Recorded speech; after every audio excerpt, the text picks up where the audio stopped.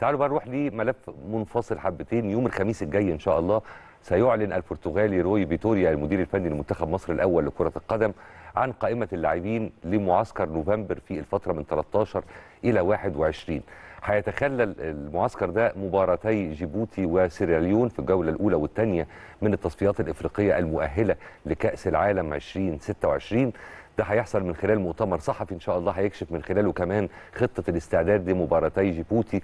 بالمناسبة الماتش ده هيتلعب يوم 16 نوفمبر إن شاء الله في استاد القاهرة وبعدها مباراة سيراليون يوم 19 نوفمبر ولكن هتكون المباراة دي في لايبيريا.